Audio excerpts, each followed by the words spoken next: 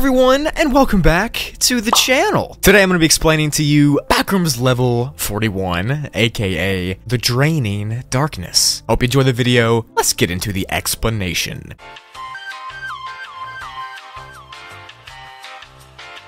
So Backrooms level 41 is classified as a class 4 difficulty and is very unsafe with a medium entity count. The level itself looks like a really dark sewage or underground tunnel system, specifically a concrete tunnel system. It's split up into different rooms, which I'll get into in a second. Loud whale noises are constantly echoing across the concrete walls, and when I say constantly, I mean constantly. Like, they're always just blasting the screams of whales. On top of these noises, there's also a species of huge lizard hominoid creatures that live in the shadows. They specifically stay in the areas with the deepest amount of water, and they're very, very hostile if you go up to them. Most of the level is dark, so it's important to bring a flashlight with you if you want to see anything. And I would say the biggest quirk about this level is that each room that I mentioned actually changes when someone leaves it. So if you go into a specific room and then walk out, you won't be able to go into that room again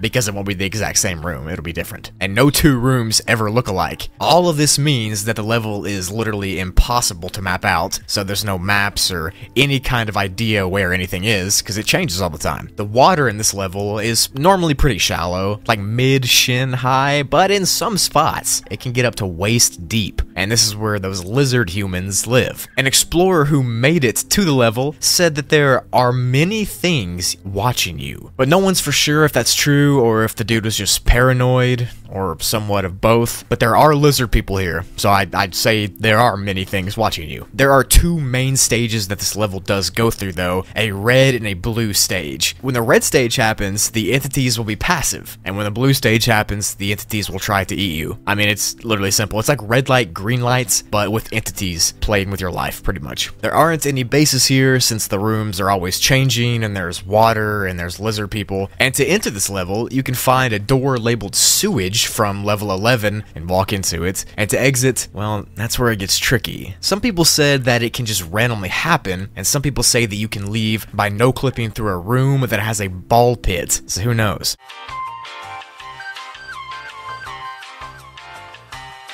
But yeah, that was level 41. A flooded underground tunnel system split up into rooms that always change, and they could be anything from a house looking room to an office looking room, and there's giant lizard people walking around. So, yeah, it's pretty scary. Hopefully you enjoy the video. Thank you for watching. Thank you for sticking around to the end of it. Comment the keyword Hillary if you've made it this far.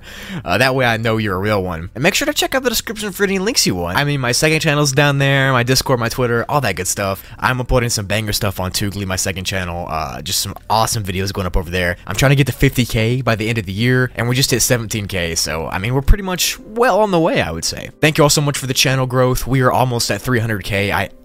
I genuinely appreciate you guys so much. Thank you so, so much. Hopefully you're enjoying your summertime, making the most of it. Life's for living. Go out there and have a great day. Thank you for watching, and I'll see you in the next video. Peace.